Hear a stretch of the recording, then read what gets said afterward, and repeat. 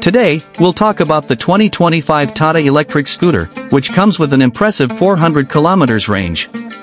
Will this be a game changer in the electric scooter market? Let's dive into the details. Design and build quality. Tata's new electric scooter features a futuristic design and premium build quality. With an aerodynamic body, LED lighting, and a stylish finish, it looks modern and appealing. Battery and range. The biggest highlight of this scooter is its massive 400 kilometers range.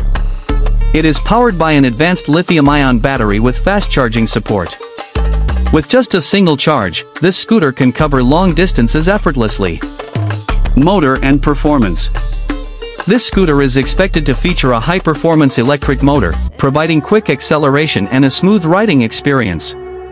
It is likely to offer a top speed of 90 to 100 kilometers per hour, making it a great option for city and highway rides.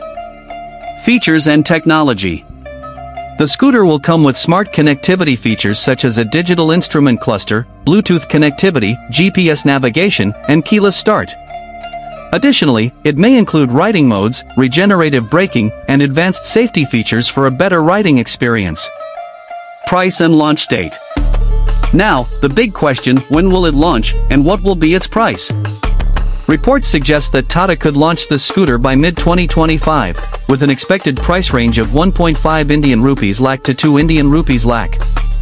Conclusion Tata's 400 kilometers range electric scooter is set to revolutionize the EV market. With its long range, powerful performance, and smart features, it stands out from the competition.